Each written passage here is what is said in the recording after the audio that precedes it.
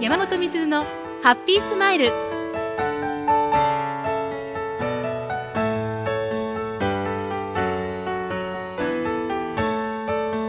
おはようございます。山本美鈴です。この番組では毎週今を懸命に生きている人を一人取り上げその人の活動や生き方を紹介するとともにその人のハッピースマイルを探っていきます。ハッピースマイルは人と人とをつなぐ合言葉ルームズ絹川商事がお送りします。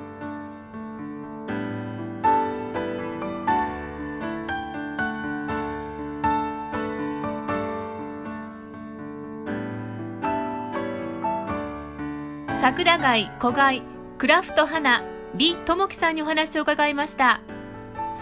智樹さんは旧都木町西海漁港生まれ小学生の頃から剣道をやっていましたが怪我をしたため中学ではブラスバンド部でクラリネットを担当。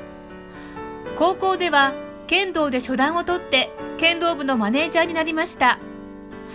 文化祭ではバンドを組んでドラムを叩きました。卒業後鹿町ロイヤルホテルに就職。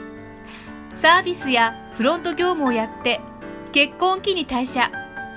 鹿町にあるマーケットの立ち上げの事務局で働き2人目の子供が授かりしばらく子育てに専念し子供たちが小学生になった頃から鹿町ロイヤルホテルで働くようになりました。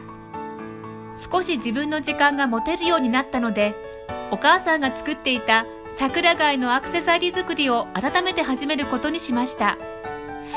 レジンフラワーの資格を持っていたので貝を使ってアレンジして貝の花を作りました。現在は鹿町の寺岡風車で働きながら桜貝や小貝の作品作りをしています。桜貝や小貝のアクセサリーはマスオガ浦や町の繁栄につながると思って2018年に桜貝小貝クラフト花を始めました。ともきさんとともきさんのお母さんはふるさとの匠に認定されています。繊細な貝の作品を作るときは穏やかな気持ちでないと思い描く形にはならないそうです。桜貝は幸せを運ぶ貝だと言われています。桜貝のアクセサリーをプレゼントしてもらったら幸運が舞い込みました。というお手紙や喜びの声が届いているそうです。11月から3月頃が増岡浦に綺麗な桜貝が打ち寄せられます。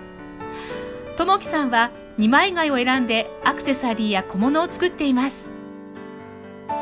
金沢市八日市にあるレピという雑貨屋さんで4月15日まで心ウキウキ春町店に B ともきさんの作品も展示販売しています。鹿町増岡浦で桜貝探しをして世界一長いベンチで海を眺め癒されるのはとても素敵ですね。ハッピースマイルは人と人とをつなぐ合言葉。ルームズ絹川商事がお送りしました。